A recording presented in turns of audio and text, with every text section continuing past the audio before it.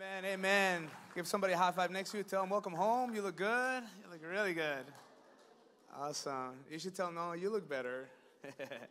you know, it's amazing to me how many, um, how many times God has uh, just been so faithful, you know, so patient, so kind, so good. And we're here today in His house because He invited us, because He brought us here. Uh, you know, I was, uh, I don't know if you guys know this story, most of you guys do, but I got invited to eat one day uh, was in Colombia and uh, to have dinner, this like private dinner with the president's son. And, uh, and I felt so honored, you know, it was like the best restaurant in Bogota in Colombia. We had like a squad of like seven cars, you know, pull up, clear out the place. They had their M4s or, you know, their rifles. And uh, it was only us. They actually brought down the cook from wherever he was. It was like this whole ceremonial, beautiful thing. Uh, of course, Colombians don't eat chile, so I made sure that he got, you know, he, he tried a little bit of spicy there, and you know, anyway. So um, they said I tried to kill him. Just kidding. No, I didn't. No, uh, but but it was really cool. It was like this honor. And to be very honest, like he doesn't remember me. He doesn't know my name. He probably you ask him about who Pablo is. He has probably no clue at all. And I don't really remember what we talked about. I remember that there was this honor. It was such an honor to be there. But I mean, you're today in the house of the King of Kings and the Lord of Lords. The, you know what I mean? The creator of heaven and earth, the one who made us all, who, who allows us to breathe today, who let you borrow one more day to be with your family. Can I just give him one more round of applause? Is that cool?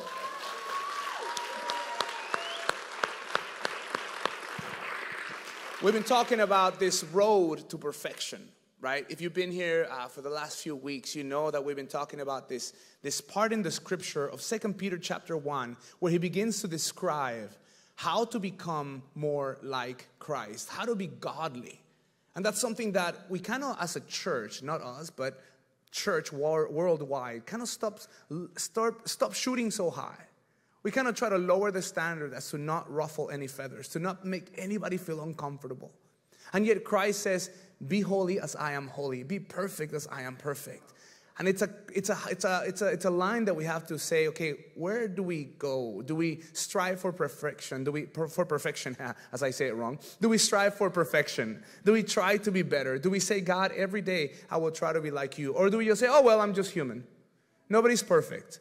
Or do we say, God, I want to be more like you? As you know, Peter gives us a description of how we ought to grow. How do, how do we develop to be more Christ like?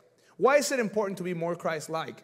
Because as we become Christ like, people around us are impacted by His love, by His grace, by His character. Amen? Because it's not just about us.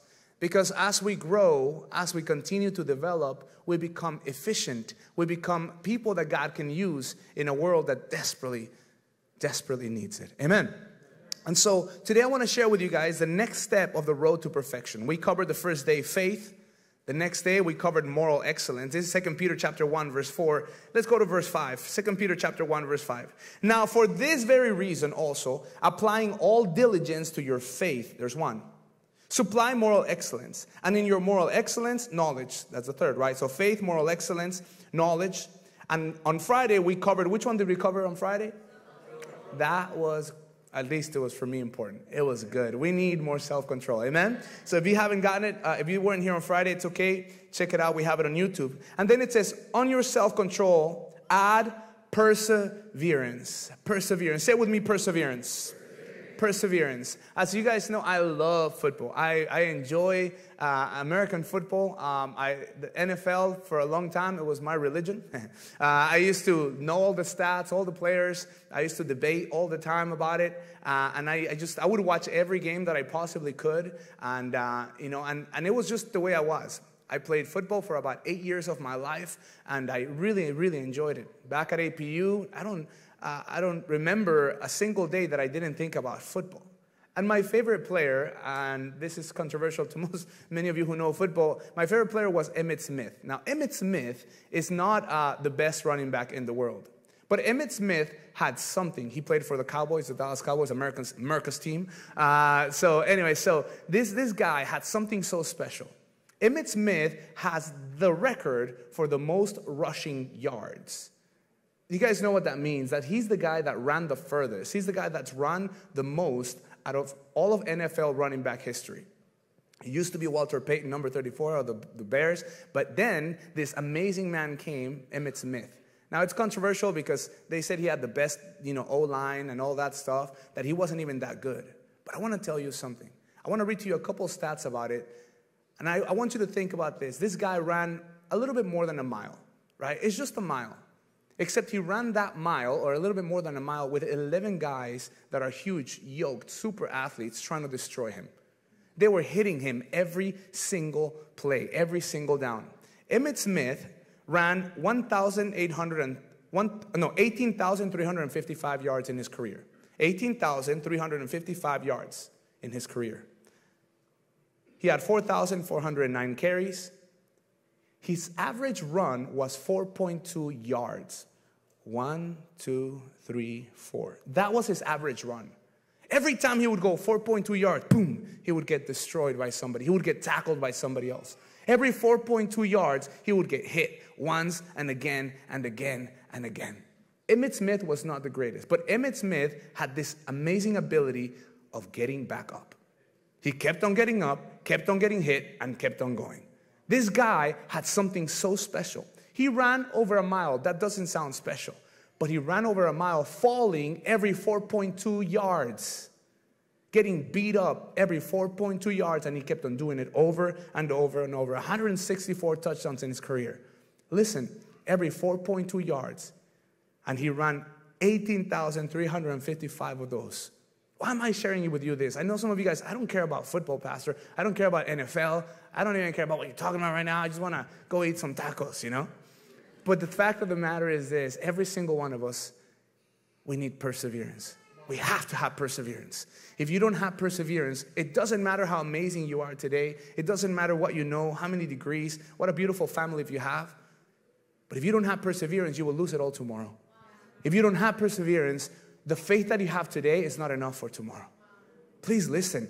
If we have no perseverance, we may say we have all these things, and you may even just be amazingly gifted in what you do. But man, we need the perseverance that God gives us.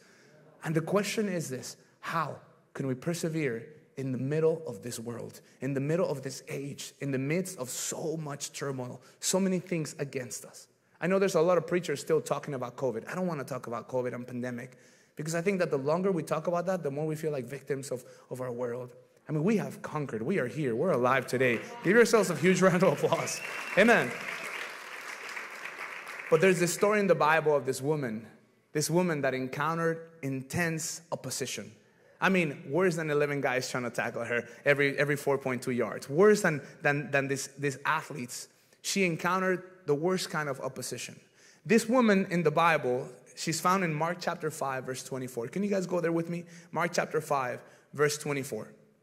We're going to read it. Ready? Set, and he went off with him and the large crowd was following him, capital H, that's talking about Jesus, and pressing in on him. So Jesus is going this his way. He's going to go heal this young girl. She's like 12 years old. She's about to die. She's the daughter of this official. His name is Jairus, and he, he's on his way to heal her. All the disciples are on the way with him, kind of like when, when a kid in high school is about to get in a fight and they're all going together, like all fast, you know? And the whole crowd is following him, and Jesus on his way to get it done. He's on his way to get it done. And all of a sudden, this woman, I call her Bloody Mary. You'll see why. Just kidding. No, this woman interrupts her so bad. Anyway, this, this woman interrupts Jesus. On, I know, sorry. On his way, on his way, this woman stops Jesus and, and, and here's what happens, okay? This is this huge interruption in the middle of this chapter. And if you skip her story, you'll just go right into Jairus' story. And this little girl dies, and Jesus comes and says, He's not dead, she's sleeping. And boom, boom, boom, and brings her back to life. And it's an amazing story. But in the middle of that amazing story, you'll find this woman going through a really tough time. Here we go. A woman who had a hemorrhage for 12 years. This woman had been bleeding for how long? 12 years. So, as long as the little girl was alive, this girl or this woman had been suffering, bleeding every single day of her life. Every day, life was sifting out of her. Every day, life was drained out of her. And had enough, had endured so much at the hands of many physicians, many doctors, and had spent all she had and was not helped at all, but rather had grown worse. After hearing about Jesus, she came up in the crowd behind him and touched his cloak. For she thought, if I just touch his garments, I will get well. Immediately, the flow of her blood was dried up, and she felt in her body that she was healed of her affliction. Immediately, Jesus, perceiving in himself that the power proceeding from him had gone forth, turned around in the crowd and said, Who touched my garments? And his disciples said to him, You see the crowd passing in on you, I mean, pressing in on you, and you say, Who touched me? And he looked around to see the woman who had done this. But the woman, fearing and trembling, aware of what had happened to her, came and fell down before him and told him the whole truth. And he said to her, Daughter, your faith has made you well. Go in peace and be healed of your affliction. Amen and amen. This is amazing. Sometimes we forget that the Bible stories are not fables. These are actual stories of people who actually walked. These are eyewitnesses account. This eyewitness account. This is somebody who wrote about somebody they saw who actually was healed by the blood of Jesus Christ. Amen. This, this, this, the power of God healed this woman. I want you to know this that as we hear these stories, it's easy to say, "Oh yeah, it's somebody else." I will. I don't. I don't struggle with this. I don't struggle with that. But I want you to know that this woman, she had this hemorrhage. She's bleeding from her body for 12 years, and that may not be your case. But there may be somebody here who has a bleeding heart Somebody here who's been struggling with something else for maybe more than 12 years. Or maybe you've been here and you say, Man, Pastor, I've tried everything before. This woman says, the Bible says that this woman had gone to every doctor possible, every physician she could find. And she, instead of getting helped, she grew worse. I don't know about you, what your struggle is. I don't know what you're going through. But the fact of the matter is this we all go through something. We all have a story. Every single one of us here have a story. Every one of us is a world in itself. Every one of us here have a struggle.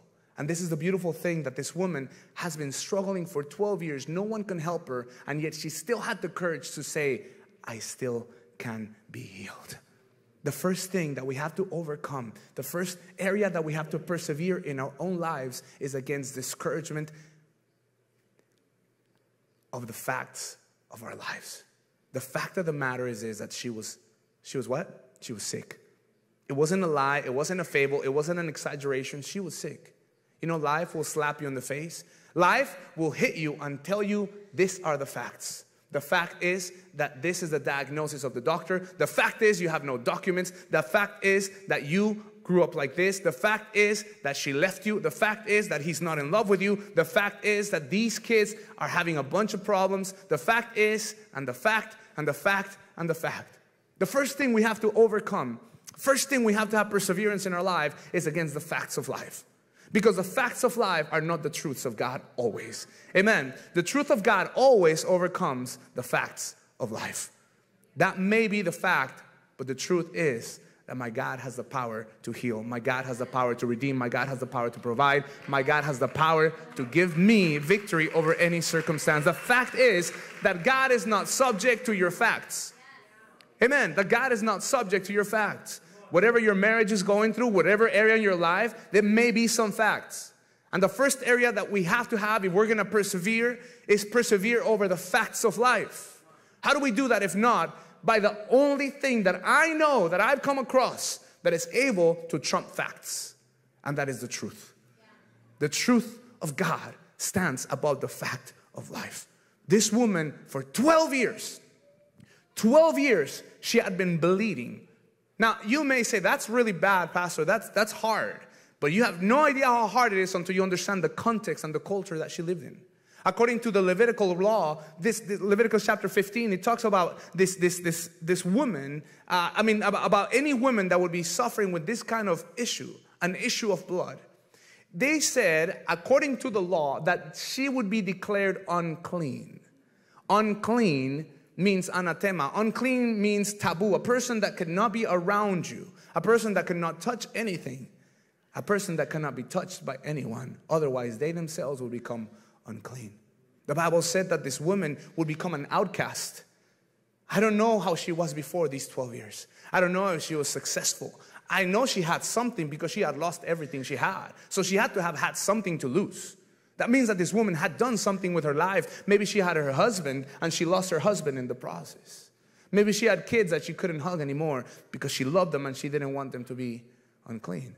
Maybe this woman had a bunch of friends. I don't know. Maybe she was the leader of the club of, of senoritas, of the, of the laundromat. I don't know. You know, maybe this woman had, had a degree. I don't know. All I know is that this woman had something to lose and she lost it all. This woman, for 12 years, she suffered at the hands of people. This woman, for 12 years, she suffered at the hands of experts. I know people that love God, but they've been hurt for a long time.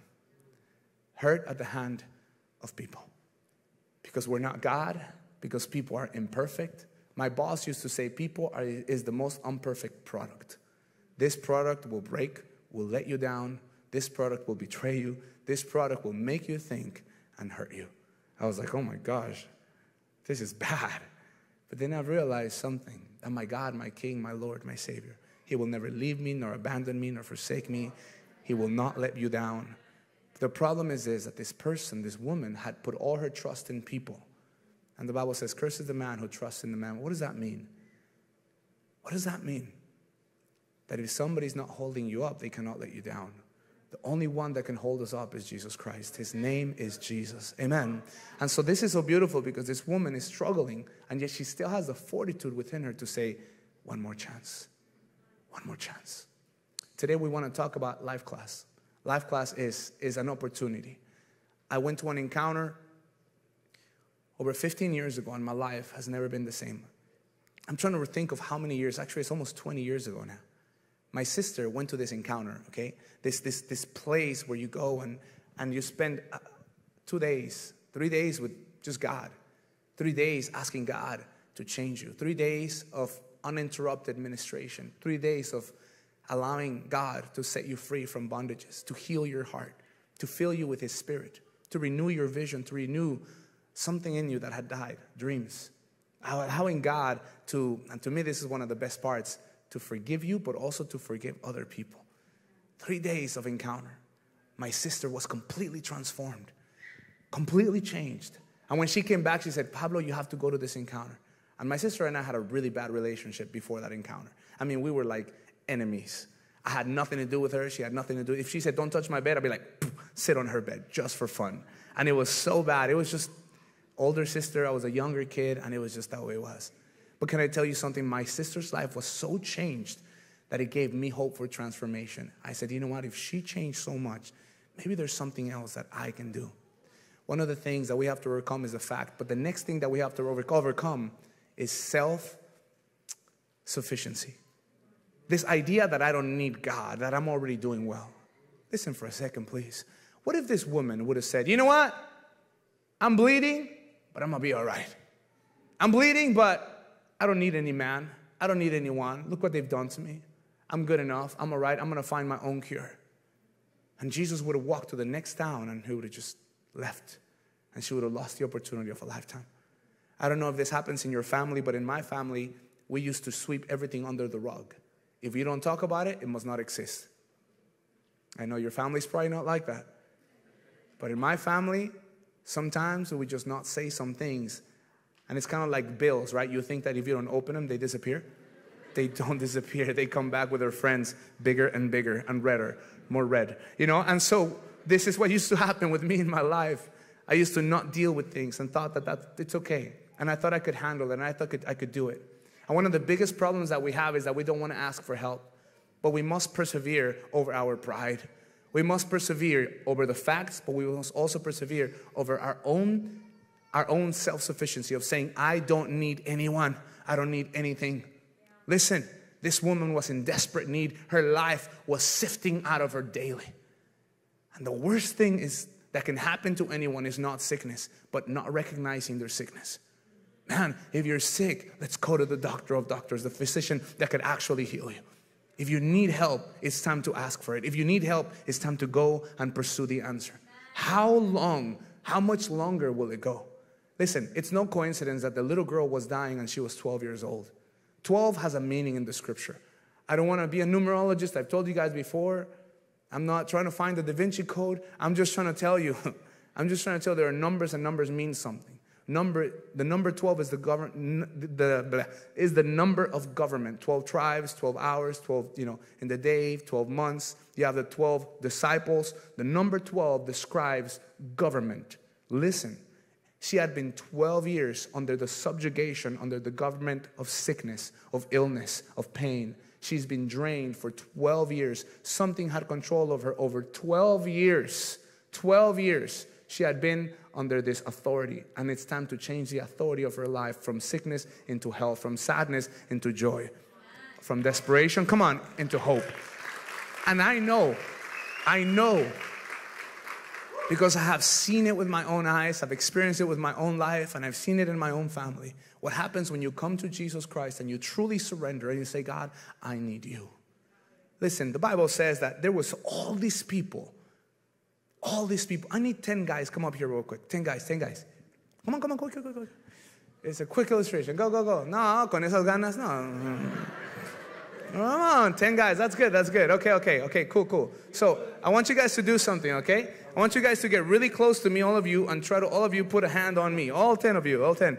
Like, oh, more, more, more, all the way. And try to press in a little tighter, a little tighter. And I'm going to walk, okay? I'm going to try to walk. I'm trying to walk. And this is Jesus. Oh, you guys are stronger than I thought. All right, all right. So this is Jesus trying to walk through the crowd. And he's like, hold on, who touched me? Who touched me? Sorry about the spinning. So who touched me? All right, who touched me? And the disciples are like, What are you talking about, Jesus? Everyone touched you. Everyone's trying to get a piece of Jesus. Yes or no? Right? This is Jesus walking. Remember, like, like, like a high school fight, right? About to go heal the little girl, but everybody's still trying to get a piece of Jesus. Okay? Think about this, okay? And Jesus is like, Who touched me? Right? I think the disciples were in a hurry too. They knew that this little girl was dying. So they're like, Jesus, are you serious right now? Like, really? You're gonna ask who touched you when all of us here are really, cl- and everybody's trying to, t- trying to get a piece of you? But there was one person that touched him different. There was only one person that Jesus stopped for, okay? And Jesus started looking through them, each one of them. There was something different in one of them. Now, there was a huge crowd of them. There was so many people, the Bible says thronging, like, like pressing in on him, squeezing him, touching him, grabbing. Think about that. But one of them was different. What was so different about, about, about that one person's touch? What caused Jesus to stop? Thank you guys. Give him a big round of applause. You guys may go back amazing actors. You have a future in Hollywood. Listen, what was so different about this one touch? You see, curiosity. People are curious about God. And they come and they want a piece of Him. And they want to go to church and show up and see what it's about. Is the music good? You know, eh, today was great, but eh, it was too loud. It was too, ah, it's too long, too short. Oh my goodness, jeans? They're tight, they're not tight enough. You know, I don't know. Everybody wants something with Jesus. They want a piece of Jesus, but this woman wanted something different. Listen, I love that this woman said, if I could only touch his garment. She wasn't trying to get his number, his she wasn't trying to she wasn't trying to get a one-on-one sit down with him. He doesn't he wasn't trying to get his hands and lay it on her head. She just wanted to get close enough to touch him. She didn't care about everything else. She didn't want to be known even. She just wanted to be close enough to have an encounter with God, to desire the Lord, it sets you apart in his, in his eyes. What God was looking for was someone who was desperate enough to draw everything from him. You notice that it wasn't even, God didn't even realize, like Jesus didn't even know who had touched him. Now, and God knows, dude, if anyone knows is God. I think this was here on purpose.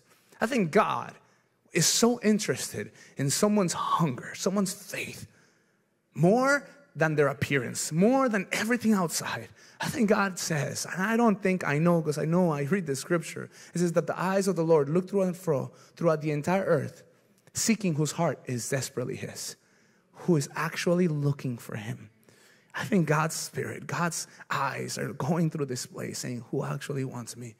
Who desires me? Who wants an encounter with me? Who wants not just the experience, but who wants to be near me?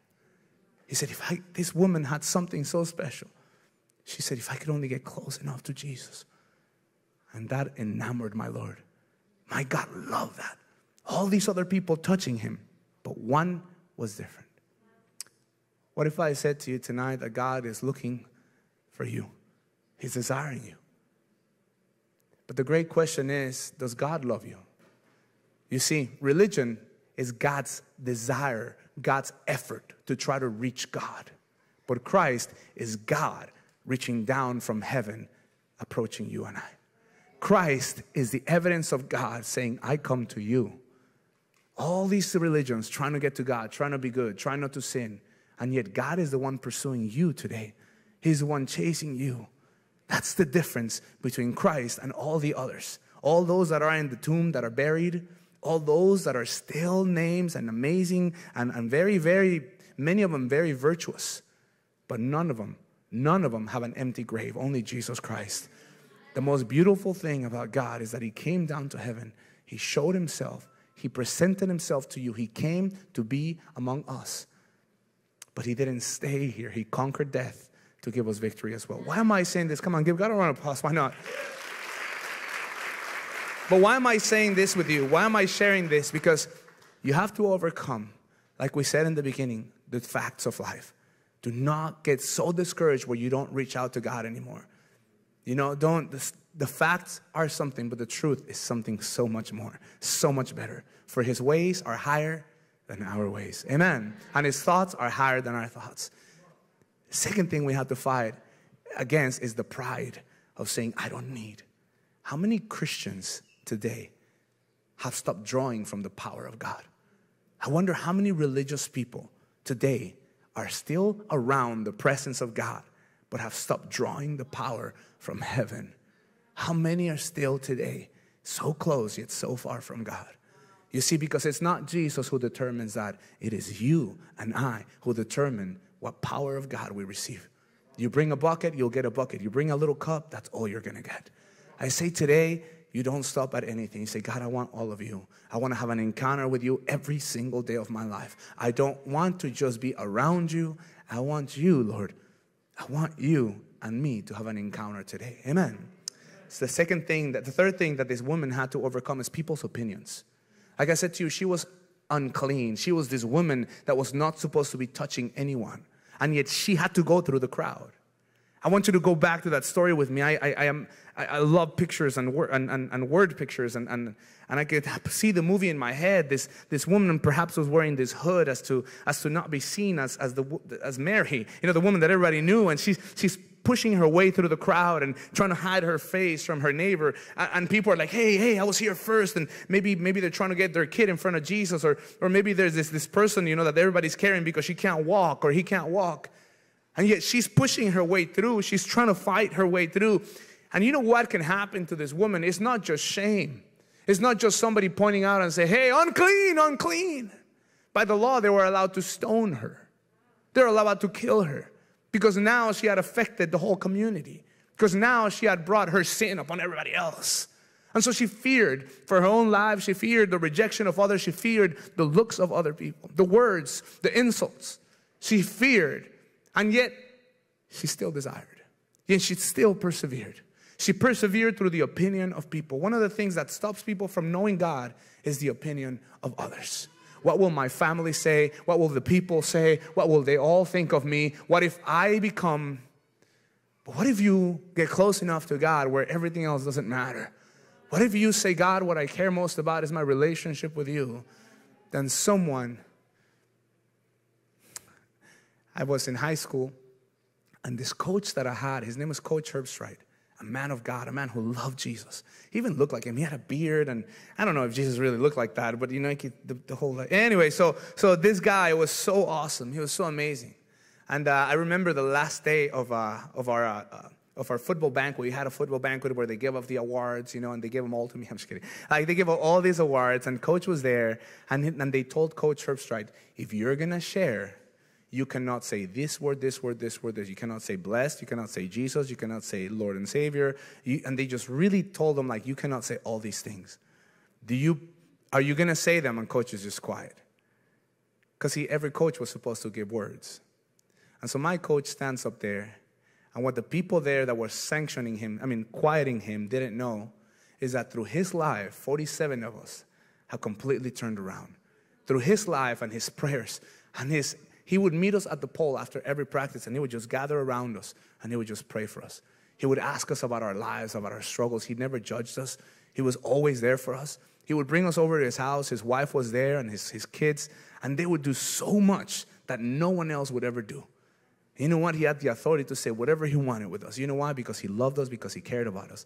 And he said right up there, he said, You know what? I know I was told not to say that Jesus is my Lord and Savior, which I love. And he began to say all the things I didn't tell him to say. And I'm not going to say those things.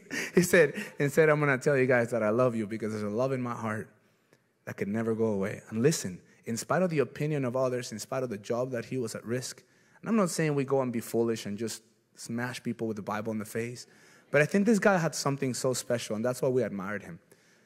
That he wasn't a respecter of man, he was a respecter of God. That his authority was clear, his authority was God. Now, why did I enjoy so much being near this man? Because this man changed so much of who we are. He changed my life, he changed so much of us. This, this coach, he didn't have to do these things, but because he understood that God is above all. And this woman understood something. She said, You know what? Who cares if people see me one way if I'm still broken? Who cares if people have the greatest opinion?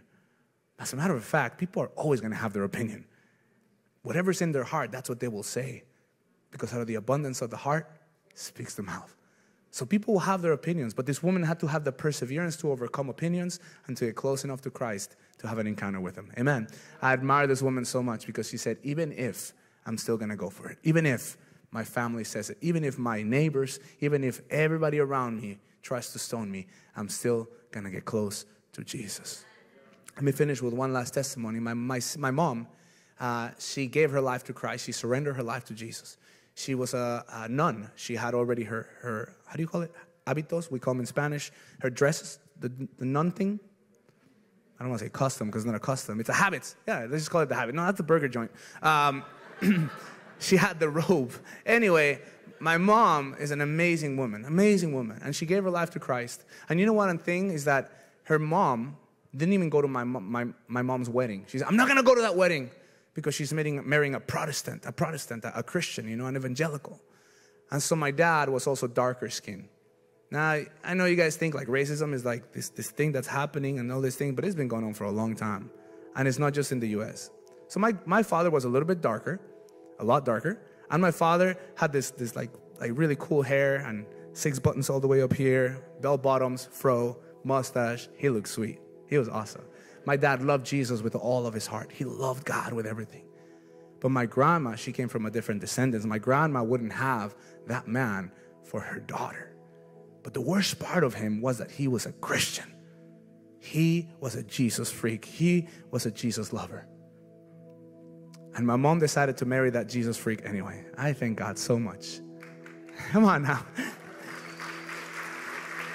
But the story doesn't end there because I understand. And this is not a, a, jab against Catholicism to the country. I've learned so much, and so did my mom. I believe some Catholics are more Christians than evangelicals. I believe some Catholics love Jesus so much more. I have seen it with my own eyes. I've seen some people that claim to be Christian and they're not Christian, man. Their life, their evidence is not there. And I've seen some Catholics, their theology might not be straight from the scripture, but their heart is for Christ. They love Jesus with all their hearts. Why am I telling you guys this? I'm not talking about religions right now. I'm talking about what happened in my family. My grandma, she was this stubborn woman, stubborn as can be, really stubborn. Well, this stubborn old lady gave her life to Christ through none other than my father my father held her hands and led her to the feet of Jesus. She surrendered her life to Christ. She gave everything to Jesus. And I know I'll see her in heaven again. I'll be able to hug her because she believed in Jesus. Why am I saying this to you? Because my father and my mom went on to be missionaries. They continued to serve God, they continued to serve Jesus. My mother lost all her wealth. My family was very wealthy from my mom's side. They disowned her completely. No one would help her. When my father died, I was only two months old. No one came to her aid. A single mom in Mexico City, and all the wealthy family completely disowned her because she was a Jesus freak. And can I say this? My father in heaven never abandoned me, never ever left me. We had everything we ever needed, everything we ever needed. My mom continued to serve God, and we don't say that out of spite. We don't need you. No, no, no. My uncle gave her life to Christ. My aunt gave her life to Jesus. One after the other, they continued to know the love of God. Let me tell you why. Because this woman and this man never stopped following Christ in spite of the opinion of others. Their opinion may be there because they have seen things that they don't agree, maybe bad examples. But if you tie, if you tie yourself to the opinion of people, you can never help them. If you don't change, how could you change your family? If you don't change, how could you help some, somebody else out? You have to have the fortitude to say, God, I love you and I will chase you no matter what, no matter who, no matter what the world says, no matter what I lose. If I gain you, I've gained the whole thing. For what's the profit of man to win the whole world if he loses his soul, Jesus said. So today, I want to ask you to do one last thing. I want you to stand up with me for a second, please. We're about to go into a moment. This church goes through seasons. This is a new season. It's a season of life class. Now, life class is not an event, it's a wave, it's a move.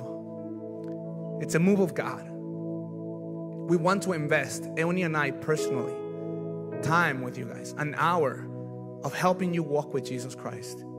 If you haven't yet had your encounter with God, maybe you've gone to church, maybe you came here a couple weeks, a few weeks, or maybe you grew up in church, maybe you were a pastor's kid like me, a missionary's kid.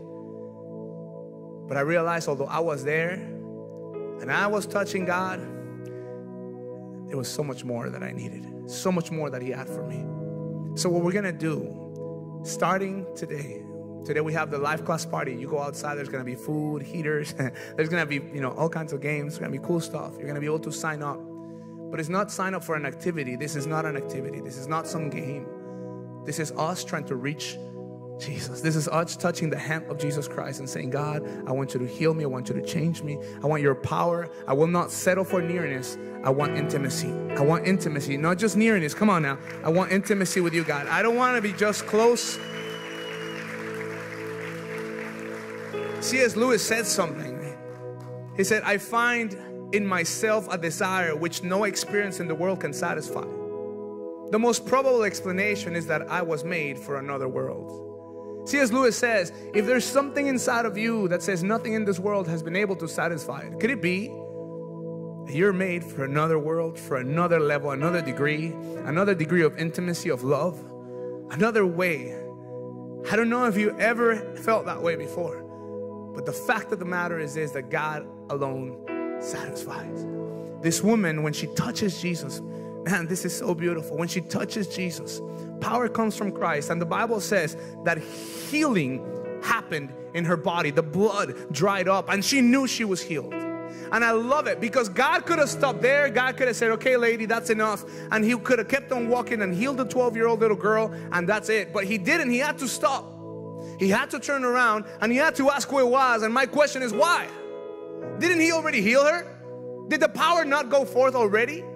And the answer is simple is that one thing is to be healed physically, another thing is to be healed socially, emotionally. And anyway, God didn't want to stop there. He wanted to keep on going in her life. He wanted the process to continue because see, she was unclean. Everybody knew she was unclean. When her little little kids would go to school, they were like, "Oh, you're oh yeah, your mom's the unclean lady, right?"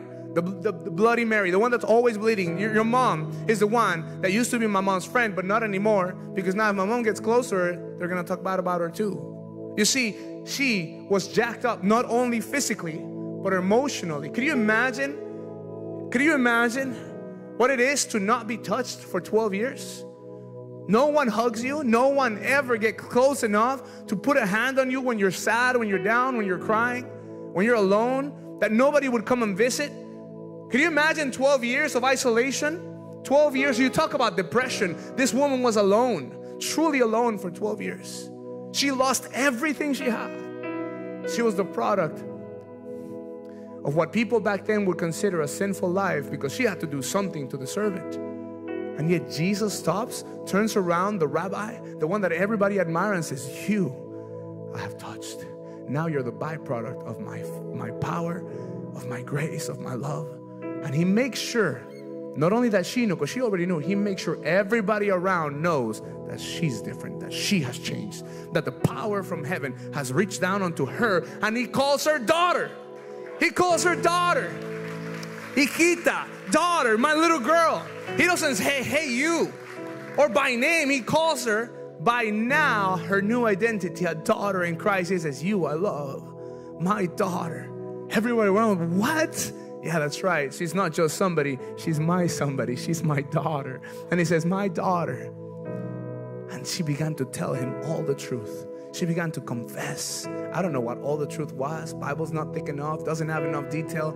I don't know if she started talking about how the problem began. I don't know if she began to, to confess her sin or maybe the truth about how she's been treated, but she began to spill her heart to Jesus. And I love what Jesus said Daughter, your faith has made you well. You are healed from your affliction. I love that Jesus says, Not only are you my daughter, but now you're healed you are healed. Not just healthy, you are healed. You are whole. The word there, healed, is also the same word that is used for saved, whole, completely made new again. And God would say to us tonight, any one of us, any one of you today who would desire and say, God, I want to be whole. I don't want to just be healthy, I want to be whole. I want to be complete. I don't want to just be healed in one area. I want you to restore me, my family, my generations. I want you to complete the good work that you have begun in this place. God, I want the process. I want the process. I don't want to just that one miracle. I want the life of blessing. Amen. So, how do we do this? How do we walk? It's one step at a time. One step at a time. Today I told Eoni, Amor, I don't want to do an altar call today. I don't want people to come to the front today. I want people to go to that table. And it's not that I want people to go to the table. I've seen what it happens when you go through life class. Life class is this place where not only do you start learning how to live according to the scripture, it's a place where God begins to process you. He begins to process and process through His Word, through encouraging the encouragement of people that also are walking with Christ. It's putting faith into actions, not just desire. Everybody wants. Does everybody want bad enough to walk, not just talk? And that is the difference. A lot of people want to go to church, but they don't want to go to God. And I would just encourage you go to God, go to God. Now, by the way, if you can't go, that's fine. Don't feel judged, condemned. There'll be another cycle. But why wait? They say that the best day to plant a tree was 25 years ago. The second best day is today. Isn't that true? They also say that about investments, but tree sounds a lot less depressive. I say today is the greatest day to invest into the rest of your life. Amen? Close your eyes. Let me pray for you. Let me pray that God would help you overcome the obstacles of self sufficiency, pride, circumstances, opinions. Maybe there are facts like, I don't have enough time, enough money, I don't have a car, I don't have this, I don't have that. And, and I would just say to you, those are truths. Yeah, those are facts. But the truth is, God loves you. He can provide. He'll open a way, He'll make it happen. If you walk Bible says, draw near to me and I will draw near to you. I love it because his steps are a lot bigger than ours. Just get close to him. He'll get close to you. God, I thank you so much because today there are people here that are hungry for you. God, there are people here that are not just part of the crowd. There are people that are truly desiring an encounter with you. God, thank you because we've seen transformation after transformation. We've seen people here, God, rise and change. We have seen people, God, surrender their lives to you. And I just ask you right now that if anyone in this place desires to walk with you, truly be healed, truly be restored, renewed, God, that they would take the next step of faith and say, I don't want to just listen, I want to do, I want to walk, I want to do something, God, that may cost me something. It may cost me time, it may cost me effort, but God, here I am, I am at your feet. Jesus, thank you so much because today you still turn around. You turn around. God, you turn around for anyone who desires you, who wants you. You're, you're still doing amazing miracles throughout the world, yet you stop for me. You stop for those that desire to be with you. God, thank you so much. Because even though you were on your way to bring somebody back to life, you cared about the person that was struggling and hurting right as you were on your way. Thank you, God, because you turned around, because you were not too busy, and you're not too busy for anyone in here. Thank you so much, Jesus. Thank you, God. Why don't you just begin to ask God? Ask Him right now to help you persevere, to help you overcome any arguments, any excuses. Come on, ask God to give you the fortitude, the perseverance. Ask God to show you, to give you the hunger and the desire. Tell Him, God, I want to know you more. Right where you are. It doesn't have to be fancy words. Just tell Him, God, I want you, God. I want you more than ever. I desire you. I don't know how, but I want to have a relationship with you. Come on, tell Him, God, I give you my life. I give you my heart. I surrender it to you. I ask you, God, today that your power would come to me, God. Let your power sift in my life, change my heart, change my life. Heal me, God. let your power from heaven, God, transform me and my family. Thank you, Jesus, for everything you've done. If you do nothing else, you've done more than enough. But God, I know there's so much more, so much more in your presence. Right where you are, would you do me a favor? Right where you are with your eyes closed, we just lift up your hands for a second. And that's a sign of surrender to God. It's a sign to say, God, here I am at your presence. I'm not running away anymore. I'm done being chased by you. I am here and I want to be with you, God. I lift up my hands and I say to you, God, you are the Lord. You're worthy of my praise. You're worthy of my life.